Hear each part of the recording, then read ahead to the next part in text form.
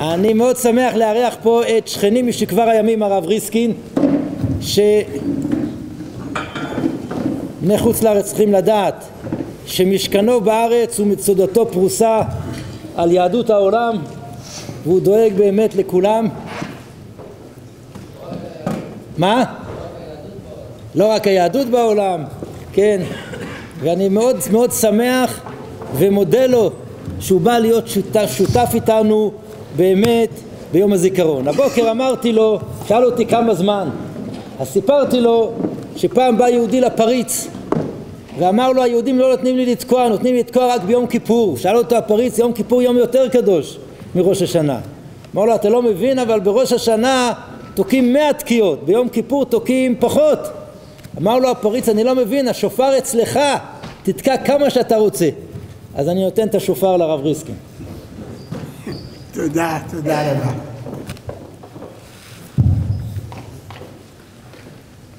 כבוד ראשי הישיבה, תלמידי הישיבה, הישיבה הרי בראש ובראשונה בשביל התלמידים,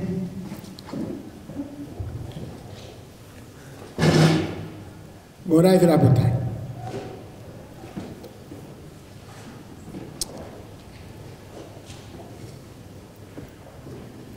תמיד קצת קשה לי לדבר באזכרה.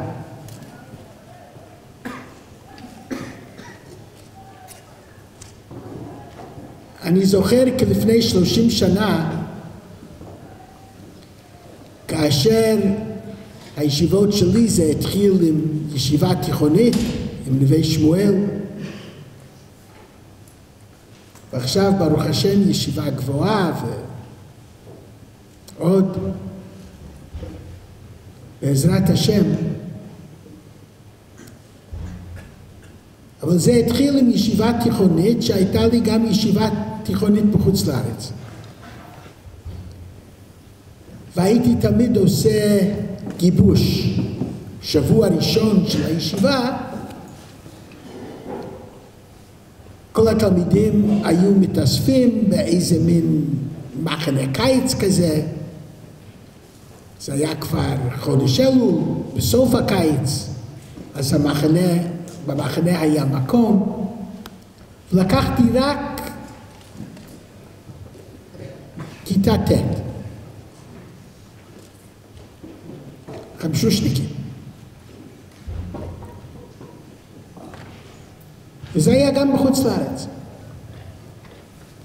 ואחרי איזה שבוע ביחד, של לימוד, של ספורט, של כל מיני דברים כדי לגבש אותו, שהם היו מכל מיני מקומות,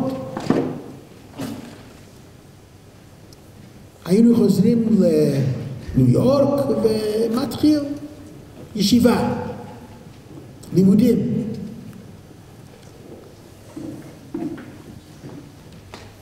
אבל לפני כן הייתי רושם על יד השם של כל תלמיד ותלמיד מה בעצם חשבתי אחרי שבוע מאוד אינטנסיבי ביחד. ואיך אני חשבתי שהתלמיד הזה יתפתח. כיוון תורה, יותר חינוך, כיוון מדע, סתם קצת פתחן, ככה מילה, שתי מילים. וביום הסיום, אחרי ארבע שנים, הייתי מוציא את הרשימה שלי ולראות, להשוות. שנה ראשונה שהגעתי ארצה, ולפני כן כמעט כל קיץ הייתי פה, והייתי קשור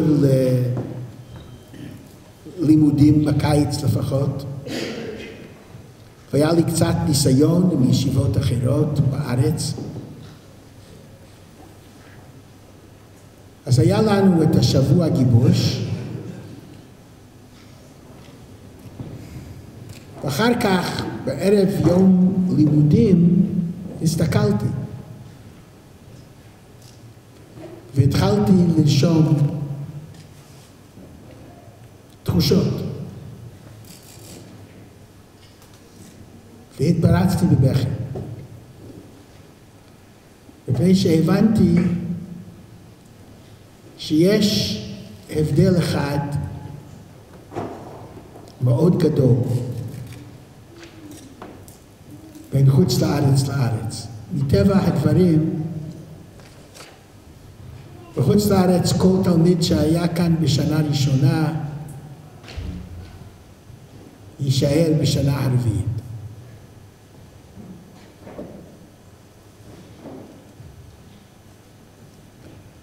בארץ זה לא דווקא. בארץ זה לא הולך כך. בארץ יש אבדות, וזה אולי אחד מהדברים הכי קשים, ושיננתם לבניך, אלו הם התלמידים הנקראים בנים בכל מקום.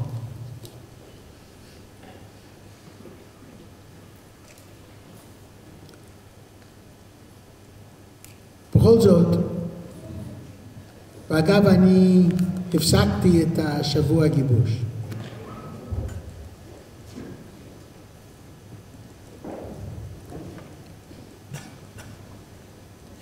אני רוצה לדבר איתכם קצת על ערך החיים ומצוות קידוש השם.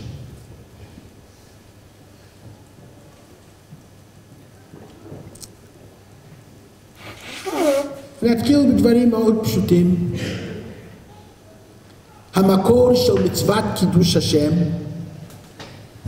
ספר ויקרא, פרק כ"ב, ל"א, ל"ב, ל"ג, פרשת אמור,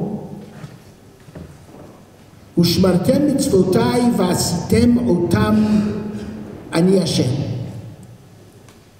ולא תחללו את שם קודשי, ונקדשתי בתוך בני ישראל, אני השם מקדישכם. רש"י על אתר, ונקדשתי בתוך בני ישראל. רש"י על אתר, מסור עצמך וקדש שמי. וכשהוא מוסר את עצמו, ימסור על מנת למות. ונקדשתי בתוך בני ישראל, קידוש השם, אדם צריך למסור את, נש, נפש, את עצמו עד כדי המוות. אבל הרי זה פרשת אמור. שתי פרשיות לפני כן, בפרשת אחרי מות, ויקרא י"ח, פסוקים ד' וה'. אותו הקשר של עשיית המצוות, ושמרתם מצוותיי ועשיתם אותם, שם כתוב את משפטיי תעשו ואת חוקותיי תשמורו ללכת בהם. ושמרתם את חוקותיי ואת משפטיי אשר יעשה אותם את האדם וחי בהם. אני השם. הגמרא במסכת יומא, פ"ה עמוד ב', וחי בהם ולא שימות בהם. ללמד על פיקוח נפש שדוחה את השבת. שבת שקולה כנגד כל המצוות. מי שכופר בשבת, כאילו כופר בכל המצוות, כופר בבריאת העולם, כולל כופר בעיקר, פיקוח נפש, דוחה את הכל. כמעט, נראה עוד מעט. וחי בה. נראה בוודאי מזה שוחי בהם הוא הערך העליון. וכאשר לומדים את הרמב"ם, הלכות קידוש השם, ברור לפי הרמב"ם שהחיים זה הערך העליון. הלכות כיבוש השם, הלכות יסודי התורה, פרק ה'. אני אתחיל בהלכה א', כל בית ישראל מצווים על קידוש השם הגדול הזה. שנאמר ונקדשתי בתוך בני ישראל. ומוזרים שלא לחללו, שנאמר לא תחללו את שם קודשי. כיצד?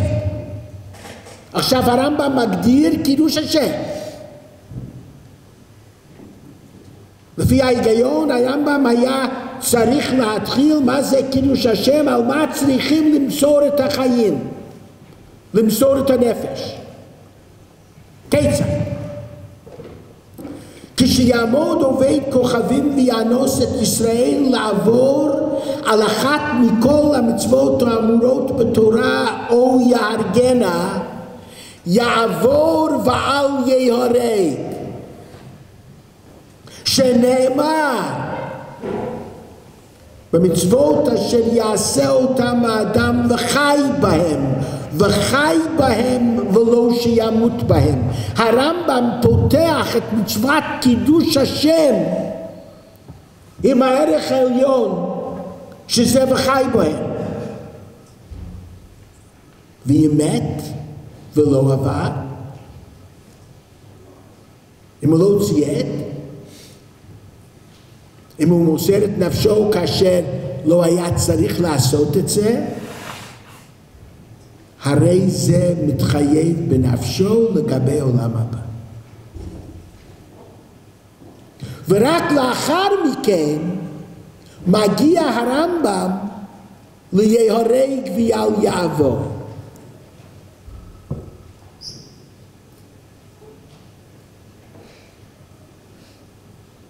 והנה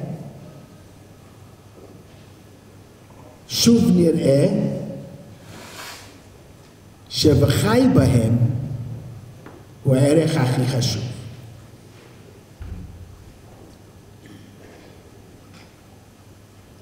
אבל זה רק לכאורה. זה רק לכאורה,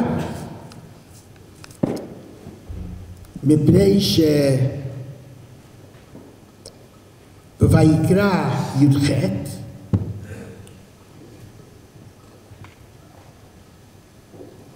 פסוקים ד' וה' וחי בהם.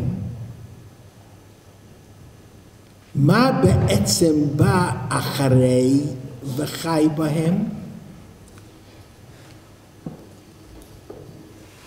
בויקרא י"ח פסוקים ו' והלאה איש איש את כל שאר בשרו לא תקרבו לגלות ערווה אני השם. והנה רשימה שלמה של שלושים פסוקים של איסור גילוי עריות. ואיסור גילוי עריות זה אחד משלושת האיסורים שעליהם נאמר יהרג ויל יעבור. זאת אומרת, כל כך קשה להבין. מצד אחד, ונקדשתי בתוך בני ישראל קידוש השם. הרמב"ם מגדיר את זה בצורה של בשביל מה אתה צריך לחיות. ועל פי רוב, לא לתת את נפשך. אבל אחרי שכתוב כבר וחי בהם, איזה פסוקים מגיעים לאחר מכן? רשימה של שלושים יהרגו ואל יעבורים. גילוי עריות. האם זה משל היסטורי?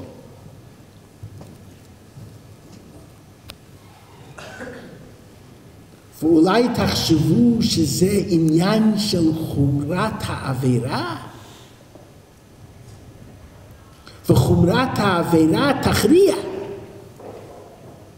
ואם העבירה היא באמת חמורה, אז יהרג ויל יעבור, זה גם לא כל כך פשוט.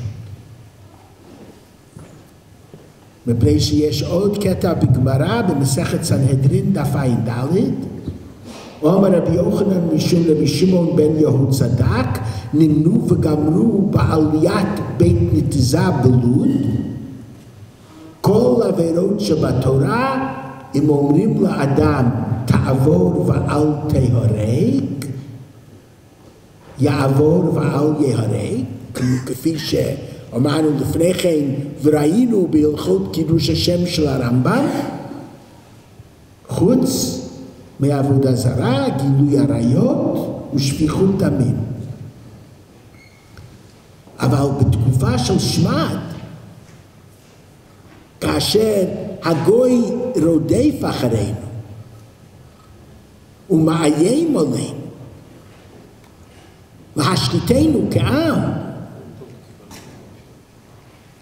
אפילו על ירקתא דמסנה אפילו על שרוך נעל. מנהג, עוד מעט אני, אני אנסה להסביר את זה. אפילו על מנהג הקשור לשרוך נעליים, דבר של מה בכך, פיצ'פקה כזה. אדם צריך להורג. אז מה קורה כאן? מה ההגדרה באמת של וחי בהם ולמה וחי בהם דווקא קשור ליהרג ויל יעבור? ומאידך, קידוש השם ונקדשתי בתוך בני ישראל קשור לוחי בהם לפי פשטות המקרא. וכדי כדי לנסות להסביר אני רוצה להביא מה שנשמע כאיזה מין פאזל של רב מנחם מנדל מקוצק. הרבה פעמים רב מנחם מנדל מקוצק ידוע שהוא היה אומר לתלמידיו דברים שלכאורה מאוד קשה להבין אותם. כמו אם אני אני ואתה אתה, אז אני אני ואתה אתה. אם אני אני מפני שאתה אתה, אז אני לא אני ואתה לא אתה. אז אני לא, לא אבקש מכם להסביר את זה. אולי אחר כך מישהו מעוניין, אני מוכן. אבל לא עכשיו. עכשיו אני רוצה לצטט גמרא במסכת תמיד דף ל"ב. וזה נשמע כמו דבר של רבי נחם מנדל מקוצק. אמר להן אלכסנדר מוקדון, אנחנו עכשיו קרובים לחנוכה. אמר להן אלכסנדר מוקדון לזקני הנגב. לפי הגמרא, אלכסנדר מוקדון היה איזה מין אה, איש חביב שכבש את כל העולם ולא ארץ ישראל. הוא נתן ליהודים שחזרו מבבל עם בית המקדש השני, תחילת הדרך. הוא נתן ליהודים להיות פחות או יותר עצמאיים. מפני שכאשר הכהן גדול בא לקראתו, הוא השתחווה לפניו. שבחלומותיו, לפני כל מלחמה, היה מי שהיה מברך אותו. והנה זה הכהן הגדול.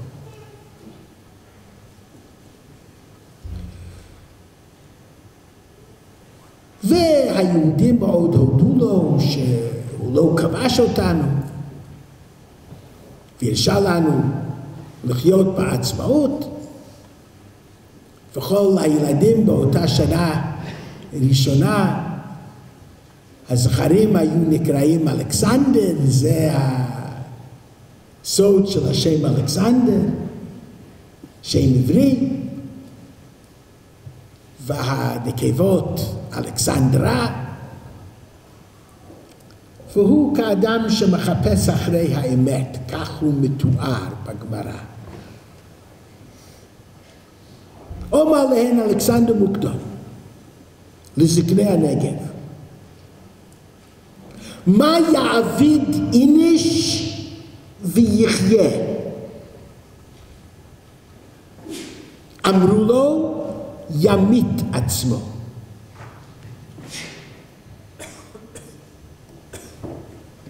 אמר להם אלכסנדר, ומה יעביד איניש וימות? מה צריך לעשות אדם שהוא ימות? מה צריך לעשות אדם שהוא יחיה? אמרו לו זקני הנגב, ימית עצמו. מה יעשה אדם וימות? יחיה את עצמו. מה פשט? מישהו רוצה להסביר? מה פשט? שוב, מה יעשה אדם ויחיה? ימיס את עצמו. מה יעשה אדם וימות? יחיה את עצמו. אני אגיד את זה במילים שלי. אם אדם חי את חייו רק כדי שימשיך לחיות, הוא מוכרח להיכשל. מפני שעד עכשיו בהתפתחות של האנושות לא היה אף אדם אחד שיצא מעולם הזה חי.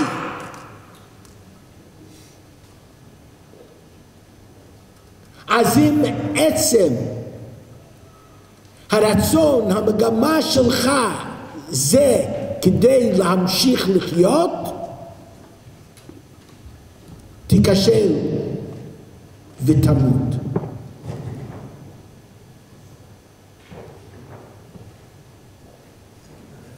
מה יעביד איניש ויחיה? ימית את עצמו.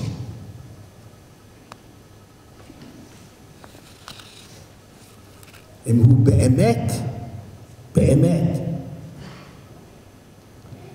רוצה לחיות חיים נצחיים, והוא ממית את עצמו למען אידיאל, וכתוצאה מכך האידיאל נמשך, אז הוא שמת יחיה. חיים נצחיים בצרור החיים. אבל האדם שרק רוצה להמשיך לחיות בתולו, הוא בוודאי ימות. מרטין לותר קינג, שהיה אדם חשוב באמריקה, הוא עשה מהפכה בשביל ה African Americans, השחורים באפריקה. והוא השיג בשבילם שוויון באמריקה עד כדי, אני לא כל כך מספט אותו, להפך, אני חושב שבמיוחד עכשיו הוא עשה ועושה עוול בנוגע לאיראן, אובמה, אבל זה שהוא הגיע לנשיאות כאפריקן אמריקן זה דבר מאוד גדול, וזה הודות למרטין לותר קינג. מרטין לותר קינג אמר, אם אדם לא מצא ערך שלמענו הוא מוכרח למות, הוא אינו ראוי לחיות. זה בעצם מה שאמר זקני הנגב.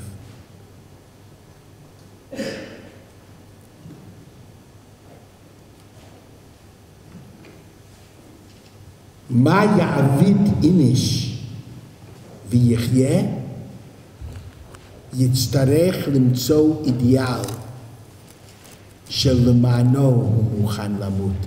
אז החיים שלו יהיו חיים.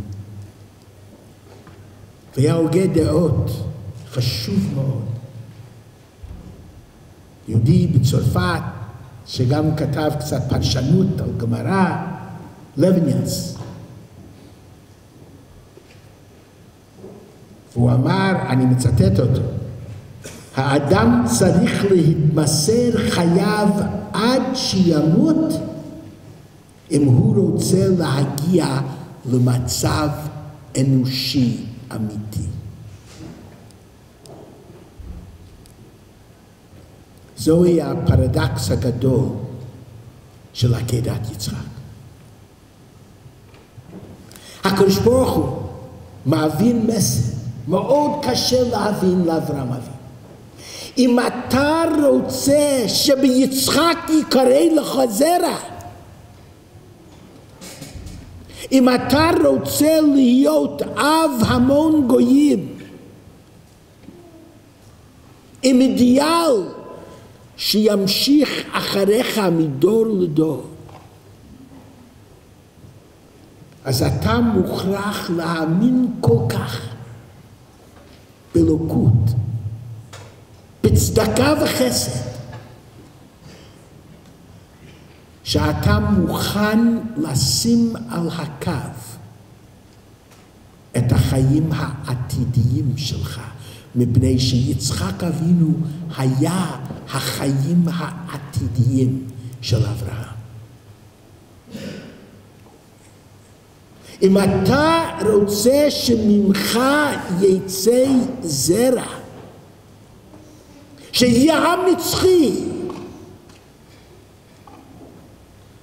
אתה מוכרח להיות מוכן לשים אותו זרע, אותו עתיד, על הקו.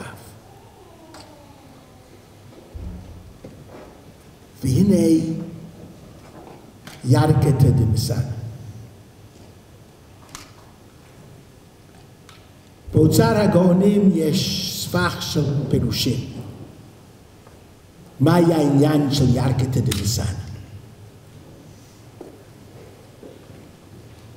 שמעתי מרבי מורי, הרב סולובייצ'יק, זכר צדיק לברכה.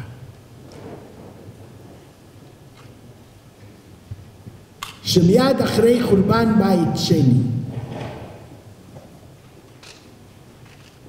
רוב העולם אז, העולם דרומי, היה הולך עם שרוכי נעל לבנים. עם ישראל, היהודים, הלכו עם שרוכי נעל שחורים.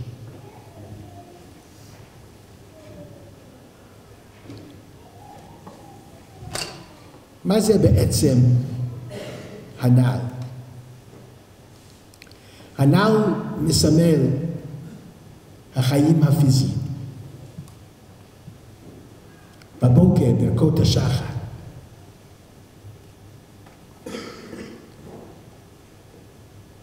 כאשר אנחנו מודים לקדוש ברוך הוא שהוא מספק את כל צורכנו, ימי הגמרא אז היו נועלים נעליים. הנעל זה החיים הפיזיים עלי אדמות.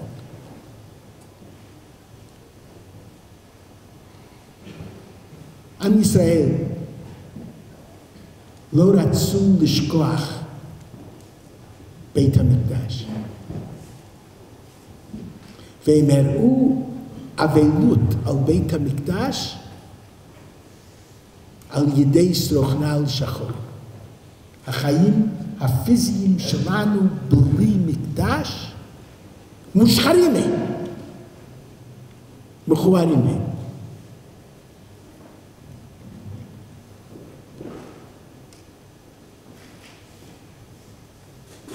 הרומאים לא רצו שנזכור, מפני שאם נזכור, נחזור ונבנה.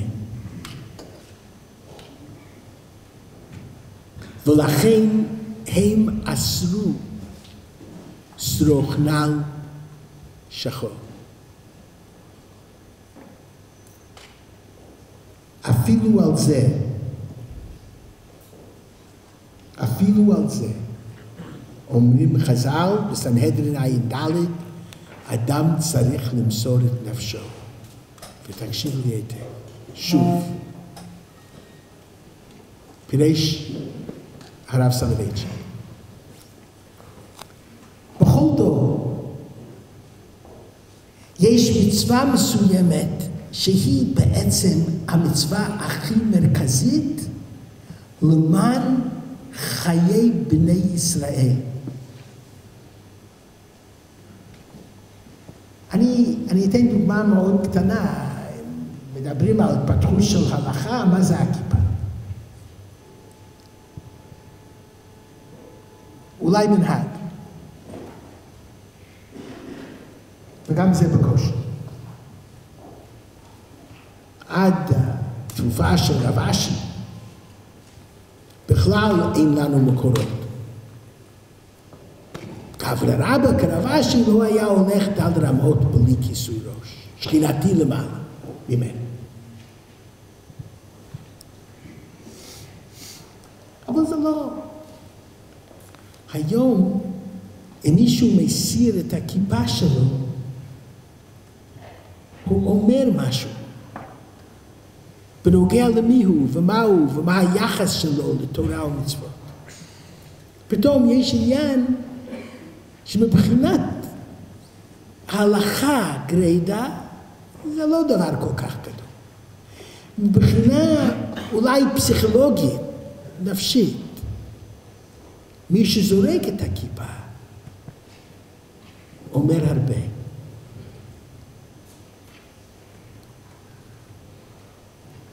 חז"ל לפעמים בעצמם אינם יודעים איזה מצווה היא המצווה המרכזית.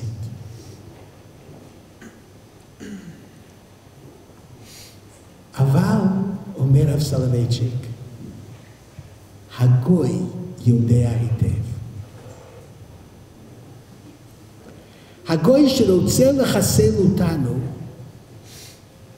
הוא יודע מה חיוני בשביל המשך העם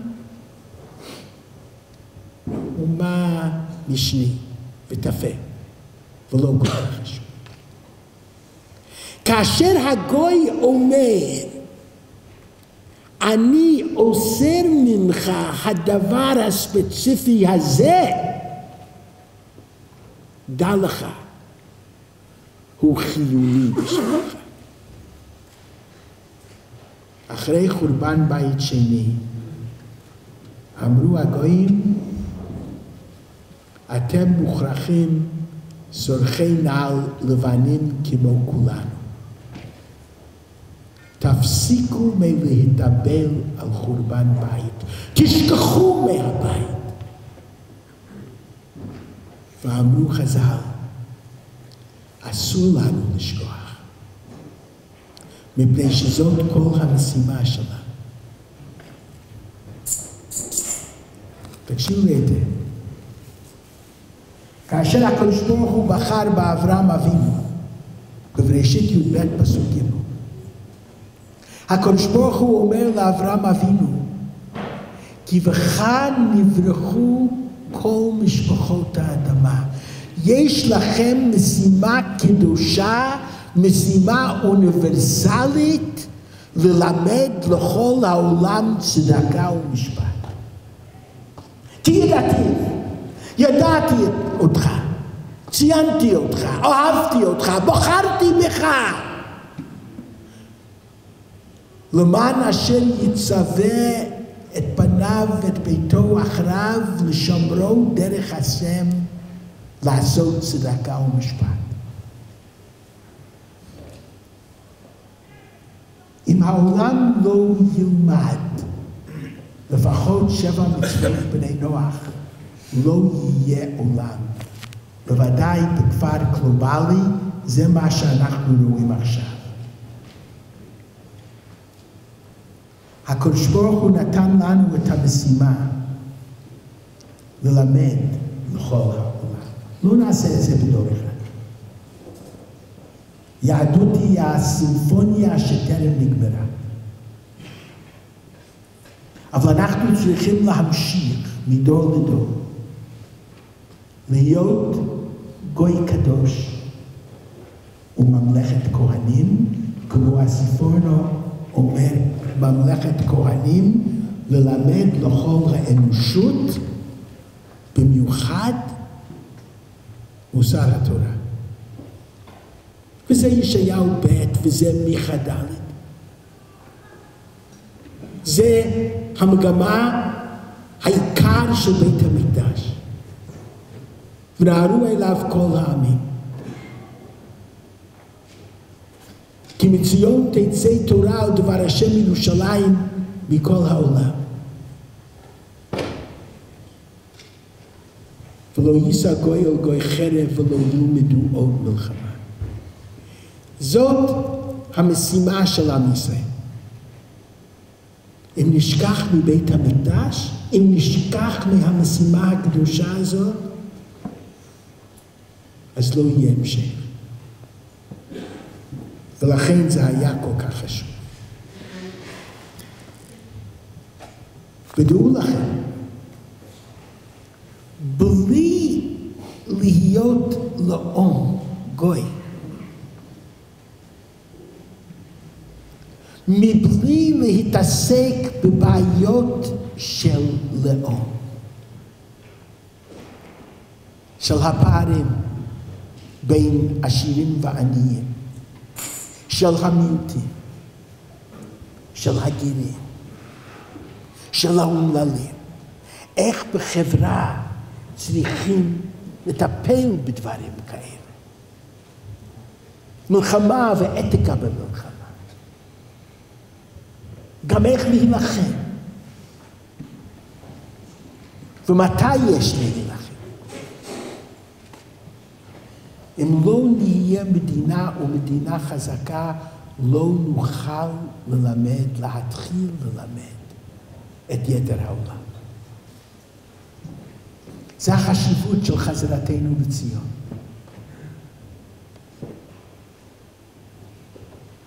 בשביל זה חזר. ולכן התקופה שלנו כל כך כל כך גורלית. ואחרי חורבן בית שני אמרו חז"ל, אל תשכחו. אל תשכחו המשימה הקדושה שלכם. אל תשכחו. ואם אתם רוצים לחיות, אתם מוכרחים להיות מוכנים למסור את נפשכם גם בשביל ירכתא דמסנא, מפני שאנחנו לומדים מהגוי שזה חיוני. מה אתם חושבים? אם לא היינו אומרים כל ליל הסדר, כל חתונה לשנה הבאה בירושלים, היינו חוזרים אחרי אלפיים שנות גלות.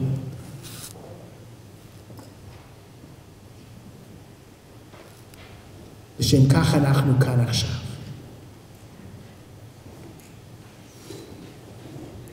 הרב ריסקין, אבל בארץ ישראל היום צריך לדעת שגם כן יש משימה לאותו בית מקדש אוניברסלי. בוודאי. ודאי, ולצערנו הרב, בין חברינו הרבנים, פה בבית המדרש, יכלו להגיד בשבילי ותחזינה עינינו בשובך לציון זה פואמה. חברים שלך ושלי. אני יודע וזה חבל. זה חבל גדול, וזה ליקוי, אני חושב, מאוד עמוק בהבנת היהדות. ובהבנת ציונות דתית במלוא מובן המילה. כי ביתי בית תפילה ייקרא לכל העמים. ויש לנו מסר לכל, לכל העמים, וזה נורא חשוב. מפני שזה בעצם פרשנות של הפסוק שמע ישראל, השם אלוקינו, השם אחד. ככה רש"י עלתה. ככה ראש השנה בכל התפילות שלנו, מלכויות. אנחנו צריכים להמליך את הקדוש ברוך הוא על כל העולם כולו. אם לא נצליח לעשות את זה, לא יהיה עולם. זה מאוד פשוט, רואים את זה היום נראה. ולכן זה כל כך חשוב.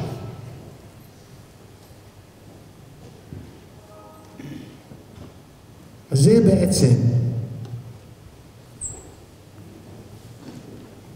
אולי היה מחלוקת בין רבי יוחנן בן זכאי ורבי עקיבא.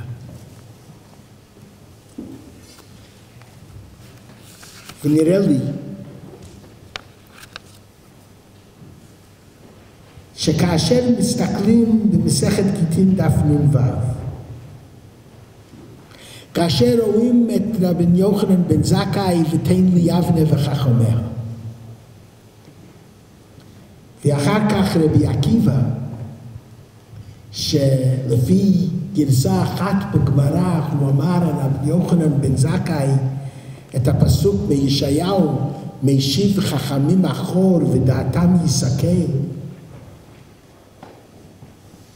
הוא חשב שרבי יוחנן בן זכאי עשה שגיאה חמורה, מפני שבלי ירושלים ובלי בית המקדש, דווקא המשימה האוניברסלית הזאת לא תתקיים. ולכן רבי עקיבא השתמש במילים כל כך חזקות. ושוב, אני שמעתי מרבי ומורי שאפילו רבי יוחנן בן זכאי לא היה בטוח בעצמו. במסכת ברכות תכ"ח כשחלה רבי יוחנן בן זכאי, נכנסו תלמידיו לבקרו. מצאו אותו בוכה. נר ישראל, עמוד הימיני, פטיש החזק. למה אתה בוכה? ממה אתה מפחד? אתה גדול בישראל שהציל את עם ישראל אחרי חורבן. אומר לו רבי יוחנן בן זכאי, אומר להם, אילו לפני מלך מלכי המלכים, סליחה, אילו לפני מלך בשר ודם, שהיום הוא כאן ומחר בקבר, שמיתתו אינו מיתת עולם, ואיסורו אינו איסור עולם, ואפשר לשחדו בממון ולפייסו במילים.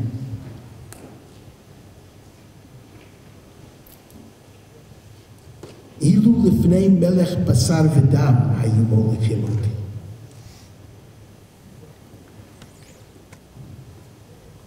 הייתי מפחד. אבל עכשיו שמוליכים אותי לפני מלך מלכי המלכים הקדוש ברוך הוא, שאי אפשר לשחדו בממון ולפייסו, לשחדו בממון ולפייסו בדברים, שישרו איסור עולם. מיתתו מיתת עולם. ולא עוד אמר רבי יוחנן בן זכאי, יש לפניי שתי דרכים. אחד לגן עדן ואחת לגיהינום, ואיני יודע לאן מוליכים אותי. לא אבכה?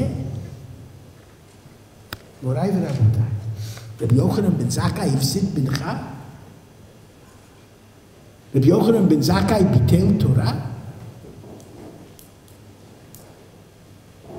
הוא פחד מגיהינום? מה היה החטא שלו? אולי הוא נתן יותר מדי, ויתר על יותר מדי. מהר מאוד. אם תן לי יבנה וחכמיה. רוב החכמים לא הלכו אחריו ליבנה. וכאשר אחרי חורבן הבית הם עדיין נלחמו ואולי אפילו האשימו אותו. ורב יוחנן בן זכאי בעצמו, הוא אומר במילים האחרונות, אמרו לו, יהי רצון, הוא אמר לתלמידיו, שתהא מורא שמיים עליכם כמורא בשר ודם. אולי אני פחדתי יותר מהרומאים מאשר מהקדוש ברוך הוא, לא הייתי צריך לבטא. ובשעת פטירתו הוא ציווה הכינו כיסא לחזקיה מלך יהודה שבא. חזקיה פספס המשיח, לא אמר שירה. חושב, רבי יוחנן בן זכאי במילים האחרונות, אולי חזקיה השותף שלי, הפרטנר. אני גם פספסתי אולי המשיח. לא הייתי צריך לוותר. ורבי עקיבא אומר אחר כך, שני דורות. רבי עקיבא אומר, משיב חכמים אחור ודעתם יסתכל על אותו גדול בתורה רבי יוחנן בן זכאי, כך רבי עקיבא גם כן חשב.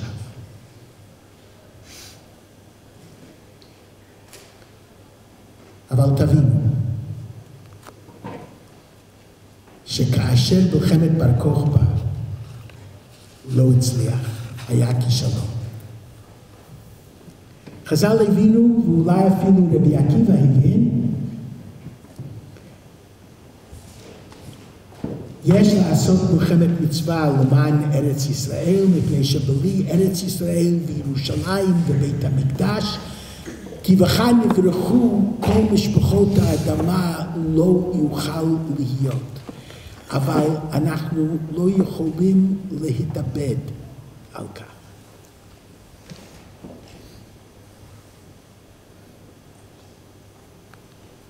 אבל תקשיבו לי היטב. מסכת ברכות, ס"א עמוד ב'. המילים האחרונות של רבי עקיבא. בשעה שהוציאו את רבי עקיבא להריגה, זמן קריאת שמע היה. והיו סורקים את בשרו במסרקות של ברזל, והיה מקבל עליו עול מלכות שמיים. אמרו לו תלמידיו רבנו עד כאן, אמר רבי עקיבא כן, כל יומי הייתי מצטער מתי אקיים את הפסוק ואהבת את השם אלוקיך בכל נפשך ועכשיו שזה מגיע אליי לקיים לא אקיימנה? והיה מעריך באחד עד שיצתה נשמתו. אני רוצה לשאול אתכם, כמה פעמים אמר רבי עקיבא שמע ישראל באותו אירוע? כמה פעמים? כמה פעמים? מה אתה חושב? מה אתה חושב? פעמיים. מתי פעמיים? אתה צודק. מתי פעמיים? אותו להורג, נכון? מצאו אותו. מקבל מלכות שמיים. זה היה זמן קריאה שמע של שחרית. הוא אמר. הם שאלו אותו עד כאן, אז הוא הסביר מצוות מסירות נפש, ואז כתוב היה מעריך באחד עד שיצתה נשמתו, אחרי שהוא הסביר. זה הפעם שנייה. למה פעם שנייה? לא צריכים לומר קריאת שמע פעמיים בשחר. הפעם השנייה הייתה הצוואה שלו לתלמידיו. כן, זה לא היה הזמן עכשיו. לא היינו יכולים. היה בלתי אפשרי, פיזי. כן, מלחמת מצווה. אבל לעשות את זה עד כדי שהעם יאמר. לא עושים את זה. אבל אל תשכחו את המצווה. אל תשכחו שהמצווה בכל זאת, אם יש אפשרות לעשות את זה, יש לעשות מלחמת מצווה אף על פי שיהיו יחידים והרבה יחידים שימסרו את נפשם. אם כל העם מדבר, בלתי אפשרי. אבל זה נפשם. לנצח, לקבל את ארץ ישראל ובית המקדש, אפילו מה שכרוך לזה זה יהיה מסירות נפש של יחידים והרבה יחידים והטובים ביותר מהיחידים, מפני שככה זה, הקדוש ברוך הוא ירד לגנו, מי שכתוב בזוהר. והוא כותב את הטובים ביותר. שמע ישראל, השם אלוקינו, השם אחד. השם הוא שלנו, השם של צדקה ומשפט. הוא מוכרח להיות השם של כל העולם כולו, כדי להגיע למשימה הזאת ולהצליח לגוי קדוש וממלכת כהנים כדי לחיות נצטרך למות. זה רבי עקיבא אמר בנשימתו האחרונה.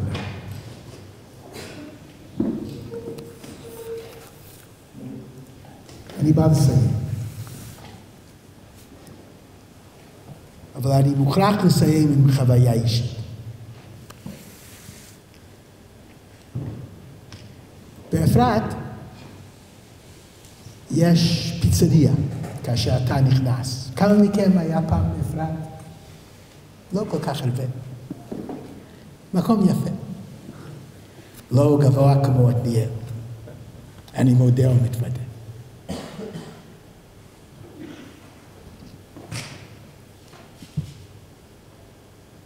יש פיצריה. איש הפיצריה זה מרדכי גמליאל. אני מכיר אותו, הוא לימד אותי איך לשחות. אני לא הייתי תלמיד כל כך טוב. אבא שלו היה שוחט בהיוסטון, טקסס. היו לו שלושה בנים, אחד אדריכל עד היום הזה בהיוסטון, טקסס. עוד אח למד בישיבת נר ישראל, ישיבה גדולה בחוץ לארץ, והוא היה מחנך ומנהל ישיבה תיכונית באמריקה. הוא היה ספורטאי יוצא מן הכלל, בחור מאוד מאוד נחמד, מה שקורה, מה שנקרא במרכאות חתיך. ו... אבל לא היה לו ראש לימוד.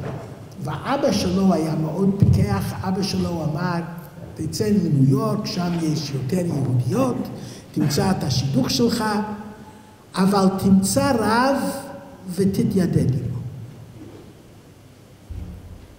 אז הבית כנסת שלי היה רק דירה מאוד קטן. הוא הגיע יום אחד, שבת אחת, צעיר כזה, נחמד כזה. אני ואשתי הזמנו אותו לסעודת שבת, ואני מיד אמרתי לו, אתה מהיוסטון, אתה כאן לבד, הלילה נצא אחרי הבדלה ונלמד קצת. הוא אמר לו, אני לא, לא, לא, לא, לא, מפני שאני, באמת, אני מאמין בתוך תוכי שהתורה זה התרופה לכל. אבל לא הלך, אני מוכרח, אני חושב שאני מחנך מאוד טוב, לא הלך. אבל הוא זכר מה שהאבא שלו אמר לו, והוא אמר לו, הרב, לא נראה לי שאתה ספורטאי. אמרתי, לא, לא, לא, אני לא יודע אפילו איך לזרוק כדור. אתה יודע לשחות? אמרתי, לא, לא, אני לא יודע לשחות. אני אלמד אותו. אני לא יכול ללכת תערובת שחייה, אני לא יודע מה יש בניו יורק, אני מכיר את ה... אז היה Young Men's Christians Association, הנוצרים הדתיים, אז גם כן, היה להם שחייה, שחייה חד מיני. אז הוא קנה בשבילי כרטיס, והוא היה אדם שהצליח בביזנס.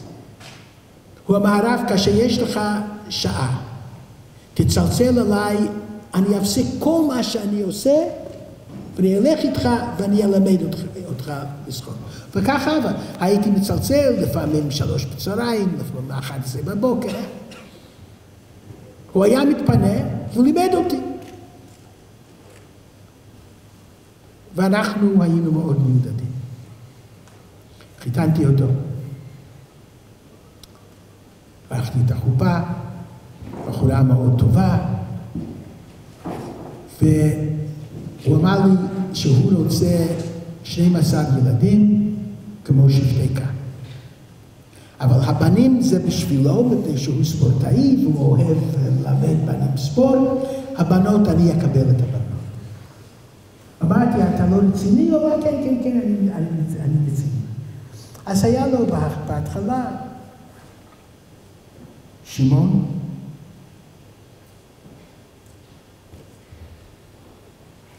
יוסף, יהודה, בנימין.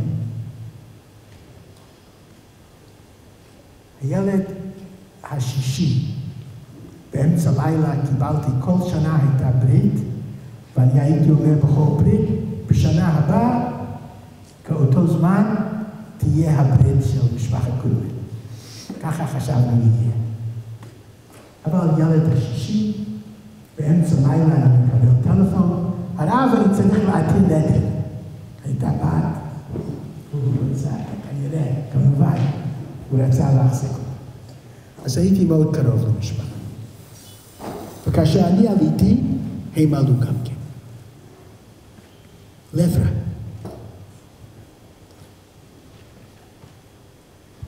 והבן שלו, יוסף. השם ייקום את עמו. לא היה תלמיד טוב, אבל הוא היה מאוד נחמד. ותמיד היה מחבק, כאשר הוא היה רואה אותי, הוא היה מחבק אותי, הוא היה מאוד מאוד חם. והוא היה הסנגור בשביל כל הילדים בכיתה. ואם היה איזה עונש, הוא היה אומר למורה, תן לי את העונש, מפני שאני רגיל כבר לזה, וזה לא אכפת לי כל כך. והיה כזה בחור טוב לב. אני תמיד הייתי צריך לדבר עם המנהלים, זה היה מוסדות של אור תורה, להשאיר אותו. אבל כאשר הוא נכנס לצבא למגלן, הוא הצטיין. הוא היה חייל מצטיין. והוא אמר לי שוב ושוב ושוב שהתקופה הכי מתוקה בחייו זה התקופה בצבא. הייתה פעולה, והמצנח שלו היה קשור למצנח של המפקד שלו, באוויר. היה לו אולי, אולי שתי שניות לעשות הכרעה. אם הוא לא יעשה שום דבר, סיכויים ששניהם ימותו. שהמטוסים יפלו לאדמה. סיכויים. אם הוא יצליח להתיר את המצנח שלו מהמצנח של המפקד שלו, הסיכויים שהמפקד יחיה בלי נס הוא ימות. הוא אהב מאוד את המפקד, קיבל אותו מאוד. באותה שנייה הוא החליט להתיר והוא נפל למוות.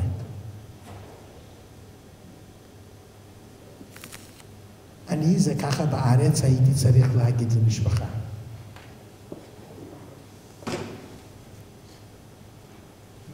היה מאוד מאוד קשה. ישבתי איתם בבית, בא מהצבא להסביר איך הוא מצא מותו, אבל מרדכי לא רצה לשמוע. הוא עלה לחדר, לחדר שינה, שלום של אשתו, היה לבד שם, אני עליתי יחד ואני ישבתי איתו, ישבתי איתו כמה שעות, בכינו ביחד, לא היה לי מה להגיד. באחת בבוקר עזבתי את הבית, הוא אמר לי, הרב, מחר תספיד על יוסף. לי טובה אחת. רק אל תגיד שהמחיר של העלייה זה האבדון שצריכים לפעמים ועכשיו בשבילי לכבות. לא הבנתי. האמת היא שבכמה לוויות של אמריקאים צעירים בצבא או בפיגוע, אמרתי את זה. המחיר של העלייה, הוא לא רצה, לא רצה, לא אמר. הסברתי. לא זוכר מה שאמרתי. עברה שנה. הגיע יום הזיכרון, ונכנסו אליי מרדכי ואשתו אן. נכנסו אליי הביתה. הרב, יש לנו שאלת רב. עכשיו, הבא בתור, יהודה, התגייס לצבא. יהודה רוצה להתקבל למגלן, כמו האח שלו. אנחנו צריכים לחתום, אתם יודעים יותר טוב ממני, שאם יש בן אחד שנהרג, רחמנא ליצלן, אז כדי שבן הבא ובנים אחרים יהיו קרביים, ההורים צריכים לחתום.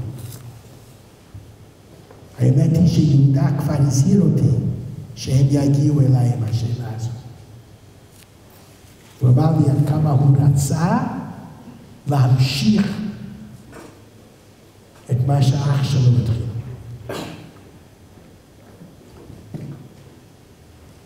והנה הקושייה.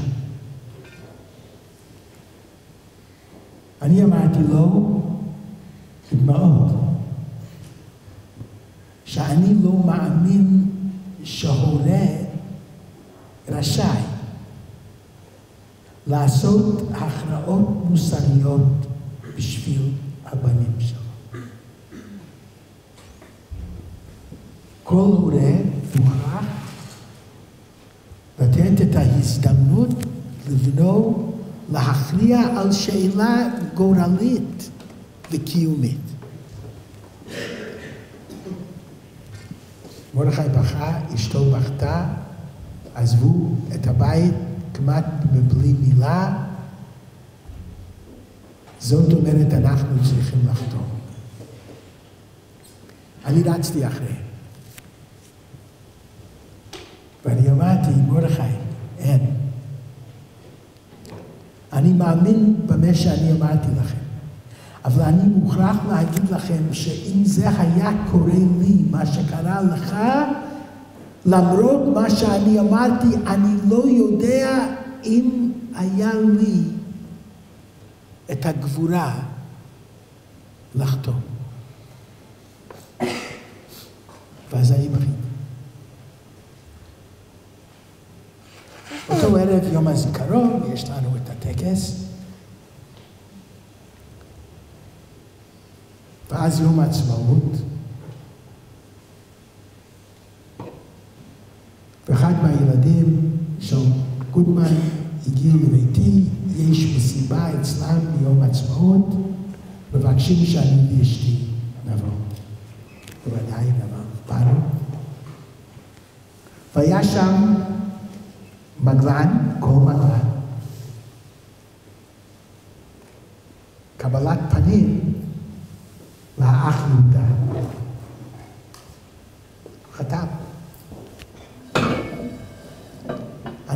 אני ניגשתי למרדכי ואני אמרתי לו, You're a better man than I am, גונגדין. אתה יותר טוב ממני. הוא אמר לי לא. לא ולא. הבנים שלנו יותר טובים משנינו. ואז הוא הסתכל עליי והוא אמר לי, עכשיו אולי אתה מבין למה אני אמרתי לפני שנה, אני לא רוצה שתגיד שזה המחיר של העלייה. אם זה עניין של מחיר, אז תלך לחנות אחרת, למדינה אחרת, שהמחיר פחות יקר. זה לא המחיר של העלייה. עם כל הכאב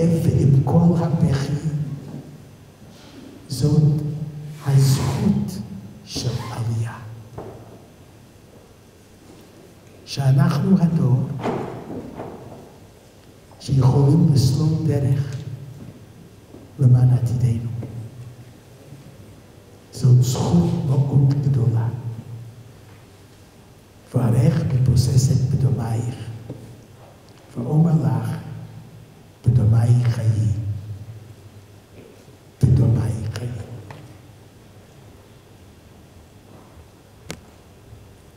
יהי כל הקדושים מבורכים לנצח.